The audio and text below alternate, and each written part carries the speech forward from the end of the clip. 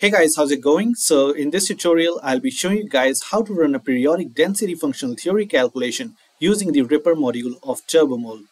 So as I've already mentioned in my previous tutorials as well, RIPER is a module in TURBOMOLE which is focused for periodic systems, although it can also perform calculations on the molecular systems as well. And that is the reason in my previous tutorials, I used only a molecular system to um, and perform DFT calculation using RIPER on those systems. And that is because I wanted to give you guys a bit of a background before coming to a periodic calculation so that you already get um, you know some amount of familiarity with the RIPER module. And uh, as you all know, a molecular system is much more easier uh, to calculate and also to understand the output files so that is why um, my previous tutorials were focused on molecular system, but the good thing is that finally you now get to see how to perform a periodic DFT calculation using the RIPER module. Now, every periodic calculation, no matter which software you're using, maybe it could be like VASP, it could be Quantum Espresso, uh, that employ plane waves, or it could be TURBOMOLE that employs Gaussian basis functions. But no matter which software you are using, you always have to provide the software at least the atomic coordinates as well as the lattice information. So even for a molecular DFT calculation, you need, to specify the atomic coordinates that we already know. But um, for periodic calculations, additionally, you need to specify the lattice information. That would be something like either the lattice parameters or the lattice vectors. So in today's tutorial, I'll be using the silicon diamond crystal structure as an example um, for a calculation. And it is a very commonly studied semiconductor structure. And uh, yeah so let's um, begin the tutorial. So first of all um, I would also like to mention that I have created this handy little RIPER Tools web app. So it can be accessed either at this link or you can head over to the TURBOMOLE homepage and then go to documentation.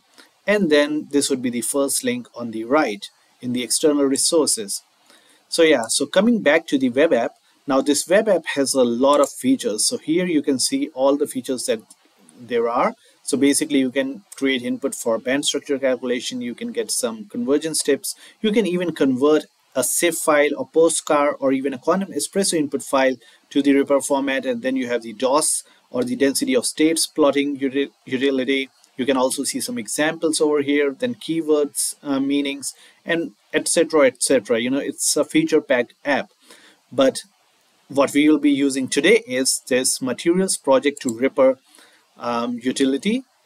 So what this does is it allows you to get the RIPER you know input file parameters or the coordinates for a given material in the materials project database so essentially you start by searching um, the formula so since in today's tutorial we will be looking over or we will be using silicon. So I will type in the formula that is the symbol of a silicon that is SI and then either I can press enter or I can click somewhere outside this text box. So I will just click here. And now you see it will search the materials project database and you will see that it found 42 materials that have the formula silicon just silicon. Now as I mentioned I will be using the diamond crystal structure of uh, silicon. So you can also google that. So silicon diamond crystal structure looks something like this. Now I already know that uh, it is a stable phase of silicon. So there you have this column that says is stable and then you can just search for true value. So if I search for true on this web page by clicking on command plus F or control plus F then you see that there is just one material that is stable and that is of the phase uh, that is in a cubic phase and has the space group FD bar 3M and that is exactly the space group of the uh, diamond um, silicon cubic structure or the FCC lattice. So yeah, so the ID is MP149. So now what we need to do is we need to select MP149 from this drop down menu. So either you can search for it like this or you can just type in. So here it is MP149 and I click on it. So now um, I see that it shows me the primitive cell of this MP149 material. and then it shows me the structure information. So I have the lattice parameters that is A, B, C, alpha, beta, gamma. So basically it's all the sides are of the same length and all the angles are 60 degrees. And then you also have the lattice vectors, then you also have the atomic coordinates, and then you see the structure visualized here. Now, just in case you're wondering what is a primitive cell, so basically um, you can have like two types of unit cells. So a unit cell is something that represents the uh, periodicity of the system. Like if, if you extend your unit cells, then you basically end up with the complete uh, pattern of your periodic system. Now, a primitive cell is actually the smallest possible unit cell that will uh, give you the same uh, pattern as your complete uh, system. However, a conventional unit cell is not the smallest possible system. So a primitive unit cell would always contain just one lattice point, and then you will have some atoms corresponding to that particular lattice point. So in this case, we have two silicon atoms corresponding to this, you know, origin uh, or the corner lattice point, and their coordinates in Cartesian coordinates are here, and then in fractional coordinates, um, they are 0.25, 0.25, 0.5, and then the other is at the origin. However, the conventional unit cell is actually what you might be more familiar with. So it actually has a cubic, uh, you know, um, shape. And uh, so therefore the angles are 90 degrees. And of course it looks much more like this because uh, if I see like this, right, it looks very much like you see here at the Wikipedia. However, here they are also showing the repeated atoms, which are symmetrically equivalent to the already shown atoms here. So here we don't see the repeated or the um, equivalent atoms. So we only see the non-equivalent or the unique atoms here. But yeah, so conventional unit cells, of course, they contain more atoms. So the calculation would be slightly more computationally expensive. So usually if you're doing a bulk 3D calculation, then it is not recommended to use a conventional unit cell if you uh, don't want to use a lot of resources. And um, yeah, so primitive unit cell would save you computational time and resources. And also there are some advantages to conventional unit cell as well. Maybe you wanted to create like a supercell surface or a slab. In that case, it is usually better to work with 90 degree angles. And in that scenario, you could also use a conventional unit cell. But for us, we will just use a primitive cell for this tutorial to save our computational time and resources that it perfectly captures the uh, complete uh, system. So yeah, so here is the interesting thing. So here you will see the coord file for the RIPER. So basically, um, these are the contents of the coord file, which have the coordinates of the silicon atom in Cartesian coordinates. And then you see some stuff here that is supposed to be added to your control file, which is the input file for Turbomole. And basically we are adding the cell parameters in angstroms, and those would be 3.849 approximately for all the three sides, and then 60 degrees approximately for all the uh, three angles. And the periodicity is 3. Now this is something you should really uh, try to understand.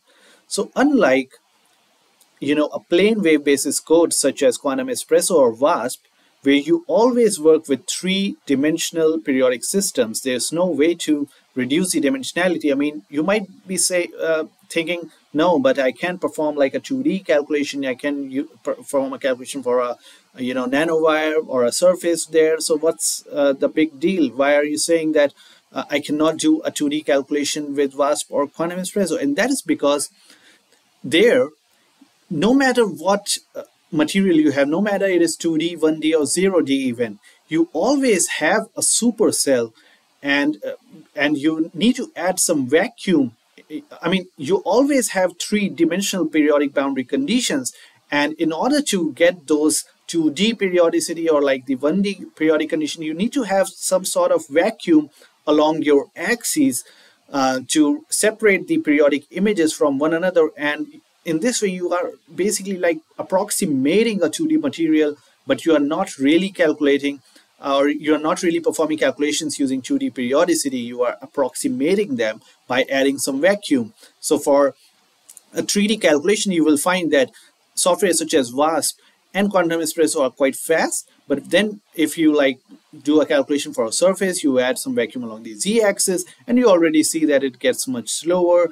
Then it gets even worse if you are doing a calculation for like a nanowire where you have to add vacuum in two uh, directions. And then for a zero dimensional molecule or a nanocluster, it really gets slow and computationally expensive because all that vacuum is not emptied. It's it has a really big cost because you have a lot of plane waves being accommodated in that vacuum and therefore it adds to the computational cost.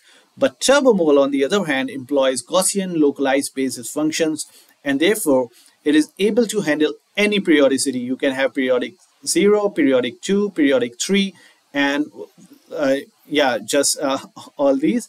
But and yeah periodic 1 if I missed it. But yeah so you can have any arbitrary periodicity up to three dimensions. And you save your computational resources if you are not um, um, if you don't have a periodic direction so 3d calculation would actually be the most expensive in turbomole while a 2d 1d or 0d calculation would actually be cheaper compared to um, VASP or quantum espresso so that is one of the biggest advantages of using a localized basis uh, density functional theory course such as TurboMole.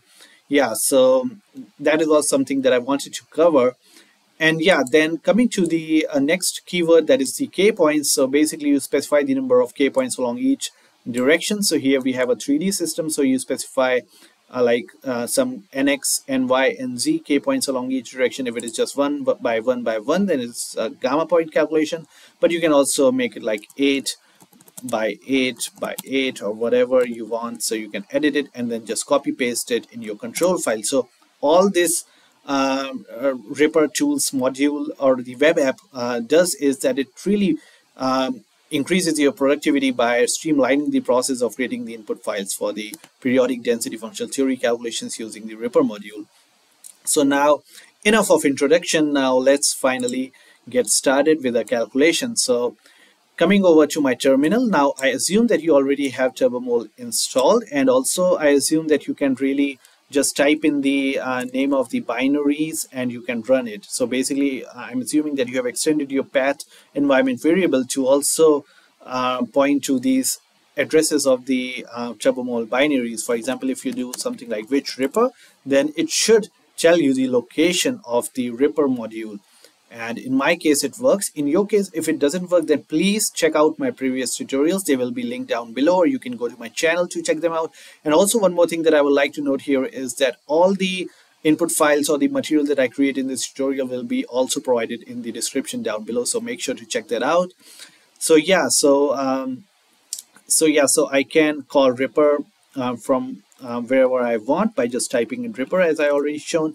Now let's create a directory called PBC calculations because I will be making a lot more uh, periodic boundary um, condition um, uh, calculations uh, tutorials. So I'll create this directory and then I will change into this directory and now you can see that it is completely empty. So now let's just create a directory for silicon, change into silicon and again this is empty so now we've in this tutorial we will just be doing a energy cal we'll just be doing an energy calculation. So we won't be calculating the band structure or the density of states but that will be done in the next tutorial. So please uh, make sure to check this out. But yeah for this tutorial we just calculate the energy and get familiar with the RIPER output for a periodic DFT calculation. So let's create a directory called energy because this will just be the energy calculation change into that directory. And yeah so now this directory is entry empty. So the first thing that we need is the um, coord file. So we'll create nano coord um, file and then I'll just go ahead and copy paste these contents from the um, web app RIPER tools.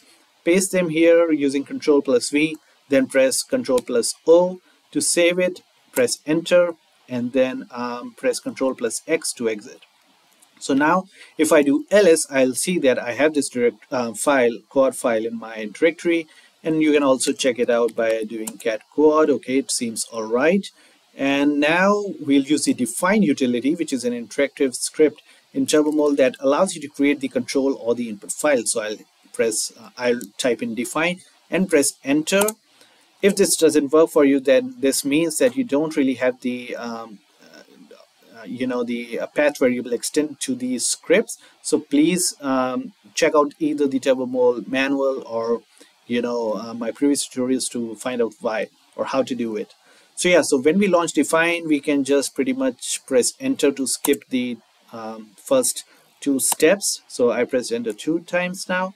And then here in this uh, menu for the structure I will type in a space god to um, provide my atomic coordinates and then to confirm that was this done successfully or not we can do disc display Cartesian and uh, it, see, it says that it has read two uh, silicon atom coordinates so that's good. So we can now press enter and we can also then um, type in asterisk or star and then press enter to go to the next menu. Now it says do you want to use internal coordinates? So we'll say no because RIPER doesn't support that and then we have to specify a basis set. Now, usually um, for periodic systems, you should specify basis sets some that are called like P POB, TZVP. So the procedure is you say B all POB TZVP, and this will and then when you press enter uh, and then you do BL that will list the basis sets. You will see that this POB TZVP basis set was assigned to the silicon atom. So now you can again press enter so unlike DEF2 TZVP, DEF2 uh, SVP, or basis sets like that, the POB basis sets are meant for periodic boundary condition calculations. So now you can press enter and then go to the next menu by pressing, um, you know, typing in asterisk star and then enter. And this is where you will generate the initial guess for your molecular orbital. So you can type in EHT to use the extended Huckel theory guess. So EHT, enter, right? And then, yes, I want the default parameters for the EHT gas, Y, enter, molecular charge would be zero for our calculations. And then, yeah, I do accept these occupations, so yes. And on the final menu, now this is important, so you need to go into the DFT menu, you type in DFT, press enter, then you type in on, because currently it says that the DFT is not used, so we want to use DFT, so you say on, and now it says DFT is used then you can specify the functional by typing in func space PBE so we'll be using the PBE generalized and gradient approximation GGA functional. So func PBE enter. So now you see that the functional is PBE you can also increase the grid size to M5 for more accurate calculations. So grid M5 so okay so this is all done. Now we can go back to our previous menu by again pressing or typing in asterisk and pressing enter and the next important thing that you need to do is to go into the RI menu for resolution of identity approximation. And then you see that it is saying that it is not being used currently, but we want to use it. After all, we are using the RIPER module, which stands for RI, so resolution of identity, and then PER stands for periodic, actually. So yeah, so here we will um, specify the basis set by typing in JBAS. So this would be the auxiliary basis set. So again, we will type in B all, and this time we'll use the universal basis, uh, auxiliary basis set, and this is pretty much um, you can be uh, you can rest assured that your you will you will not go wrong if you're using the universal basis set, uh, auxiliary basis set, as long as your basis sets are in, within the DEF2 family or POB family. So yeah, so be all universal, press enter, then asterisk, to go back to the previous menu again asterisk enter to go back. And now we are done with this define utility so we can again press asterisk and hit enter to come out of this define utility. Now if you do ls you will see now you have a few more files than just the coord file. So you have the aux basis that contains the auxiliary basis set basis contains your basis set and control would be the input file and MOS would contain the initial guess um, for your system. So let's check out the control file actually. So I will open it using nano. And here you have essentially, you know, the information about the basis set. Okay, we are using POB TZVP. We are using a closed shell system. The maximum number of SCF iterations that will be performed will be 30.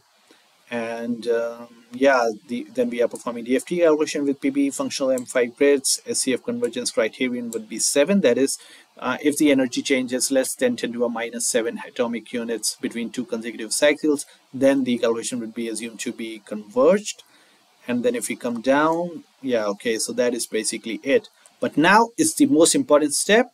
You come back to your web app you just copy all of this and so basically you select all press Control C and come back to the control file and anywhere here, let's say just right above DFT, you can just press Control plus V to paste all of this uh, periodic information.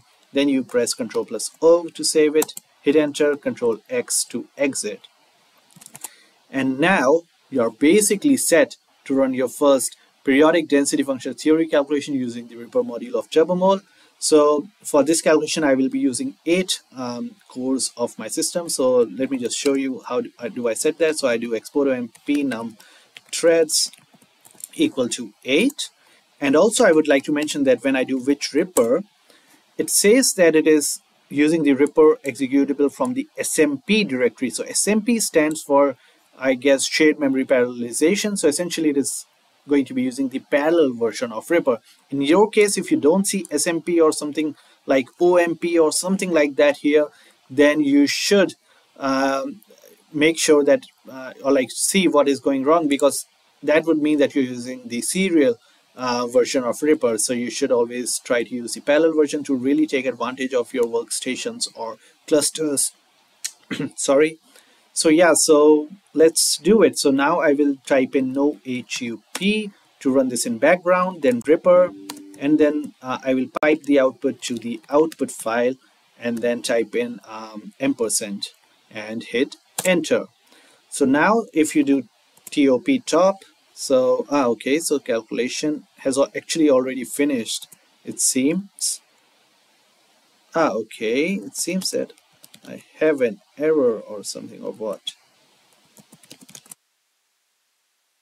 Okay, so um, we have managed to land into an error and it says that uh, there was an error in reading the basis set, so RD uh, basis set, so there was an error and the problem was that the basis set with nickname SIP, OBT, ZVP is not contained within the file aux basis and that means I somehow made a mistake when specifying the auxiliary basis. So and I also didn't check in my control file actually. So yeah indeed I made a mistake. So the JBAS or J base or whatever you want to call it actually refers to the auxiliary basis. Set and it is POB POBTZVP which is wrong. As I mentioned I wanted to use universal basis set but somehow I think I made a mistake somewhere. So we need to run define again to correct correct this uh, problem. So we'll run define. We'll press enter once press enter twice. Again we don't want to change the basis or anything so we'll press enter we don't want to change the occupation numbers or you know the initial guess. So again I will press enter. Yeah we can perhaps uh, delete all of that. Again press enter. So here so I will again go into the RI menu. Ah okay. So it still says RI is not used for some reason. So first of all I have to do on. So okay, now it says RI is used. And then I will go to JBAS, then I will do be all universal. So maybe I didn't uh, do it earlier, this RI on thingy. But anyway, so be all universal, BL, okay, so now I see that universal basis is being used. Press asterisk, hit enter, press um, asterisk again, hit enter, press asterisk again, hit enter.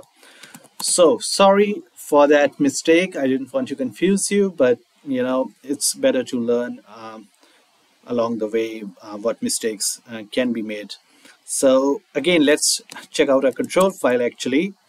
And now we see that okay the JBAS is correctly um, uh, set to universal. So hopefully sorry for the digression but hopefully the calculation should run fine now. So let's run this again using the same command. That would be no HUP for background um, execution riper pipe the output to output ampersand hit enter. Okay so now it is running and let's uh, go into top and see. So okay so now you see that uh, it is actually using eight cores as I had already specified um, using the export omp num threads command. And um, within a few seconds it should be done. So already actually yeah so it's already done. So now let's check out the output.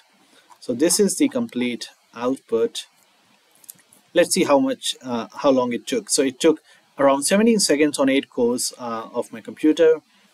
So here if you go to the beginning of the output file you can already see that it takes um, 8 uh, cores or threads. And then here you see um, the cell parameters that were read by the RIPER module. And don't uh, you know get confused that this don't doesn't match the um, you know 3.84 value that we provided but that was because this was in angstrom the input while the output file is showing it in atomic units or bohr. So yeah so that is why you see this difference. And uh, yeah then you see the direct space uh, cell vectors reciprocal space cell vectors then the fractional crystal coordinates. So as we so this this way you can confirm. So as i had shown you earlier that uh, you know in the primitive cell the si atom has the coordinates 0.25 0.25 0.25 so this also confirms that uh, when RIPER took our Cartesian coordinate input, it converted it into fractional coordinates and it actually still is 0.25. So that is good to know. Then you have the basis set information, which is um, not, um, which I'm not going to cover in much detail in this tutorial. You can check out my previous molecular DFT tutorials for that. And then you have this K-point mesh. So again, so as I use 8 by 8 by 8 grid, so that resulted in a total of 512 K points, but then you have the symmetry that the uh, value of the um, Hamiltonian at the plus K point is the same as the minus K point. So um, that is why you can reduce uh, the number of K points that you will be doing the calculations for by half. So, you, so this was the actual number of K points that was used for the calculations and then you had the reciprocal lattice vector A and then the number of K points along this vector were 8 similarly along the second lattice vector were also 8 and so on. And um, yeah then the we have the PBE functional being used. And yeah so that is pretty much it.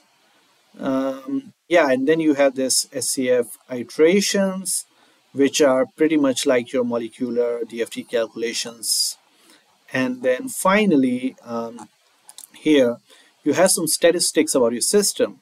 So now here is an important thing that you should be aware of. Now if you have ever run a periodic DFT calculation for the silicon cubic crystal structure especially using a plane wave code and the PBE functional for the exchange correlation term then you know that it is commonly known that it underestimates the experimental band gap which is I don't remember, but like more than one electron volt. And it underestimates it significantly because uh, with plane wave basis DFT codes, you get a value of 0.61 electron volts. Now here actually, we get a band gap of 0.048743 atomic units. So first of all, we will copy it and convert it into, you know, um, um, electron volts.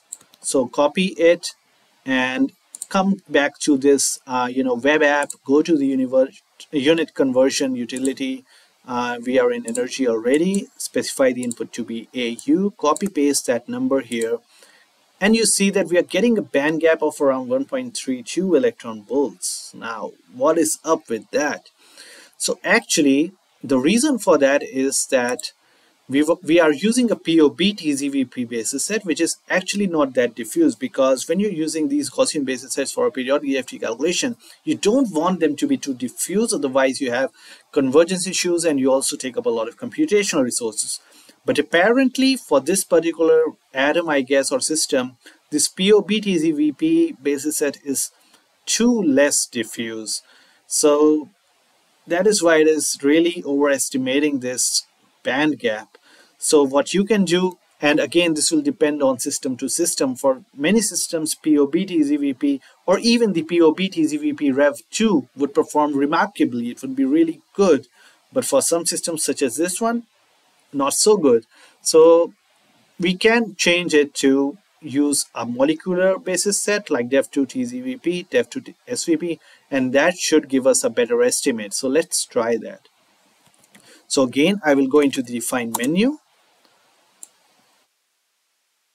um, yeah then I will hit enter enter and then yeah so I want to change the bases actually so I will uh, press Y enter and then go be all def to SVP or maybe TZVP would be even better because that would be really diffuse.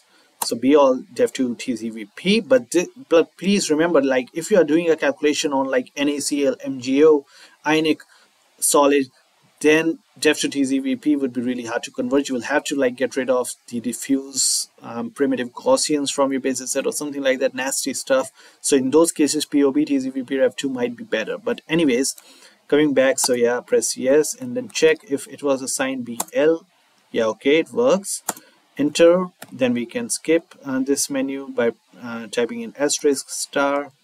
Yeah, we, I want to keep the universal basis set, so I will still use K and then I will generate a new guess using EHT for this basis set. Yes. Molecular charge zero. Default occupations yes. Delete all this. Yeah. Okay. Yeah. Yeah. And then press asterisk and get out of this menu because everything else was already assigned previously. And now if I run the calculation again and save it to let's say def2 tzvp output file now you will notice that it will take slightly longer actually so previous calculation was done in 17 seconds or so on 8 cores, but this time it will take slightly longer. And you can also see that even the memory requirements are long, are larger because previously it only took around 35 megabytes. Now it's asking for 197 megabytes because of the diffuse basis functions. Um, that is the case. So let's uh, keep on updating the output file and see how long it takes. And yeah, so it is taking a while actually. And also in the meanwhile, okay, while this calculation completes, what you can also do is you can check out the previous output file and you can just go ahead and copy this entire shit uh, sorry. So you can just go ahead and copy this entire output file you know and come back to this web app and go to output parser paste the contents of the output file here, press somewhere, uh, click somewhere outside this box, and then you see that it will parse all your energies, show a nice plot of the energy convergence, and also even pass the structural uh, information. And this can be really good for debugging. Maybe you get some results that you don't expect, but then you can pass the output and see that, okay, um, whatever I, uh, you know, uh, gave in the input is also coming in the output. So it is consistent. So uh, this consistency would help you debug if you, there was perhaps an issue or not. So yeah, so this is a really nice utility that again I created. So okay, now the calculation is also complete. Now let's check out the output def2 tzvp file. So now you see it takes around one and a half minutes, so slightly longer. But yeah, so now you see that the band gap is significantly reduced. So now let's check out how much is this in electron volts. Go to unit conversion select atomic units paste in this value and you get a value of 0.79 electron volts which is actually quite close to 0.61 electron volts. The additional difference that you are still getting could be due to the use of zero potentials in the plane wave basis codes or also you know related to somehow some more basis set. But essentially this is um, how you run a periodic density functional theory calculation. And uh, in the next tutorial I'll be showing you how to plot the band structures calculate and plot the band structures and calculate and plot the density of states etc so stay tuned and yeah so thanks for watching and subscribe to my channel for more videos like this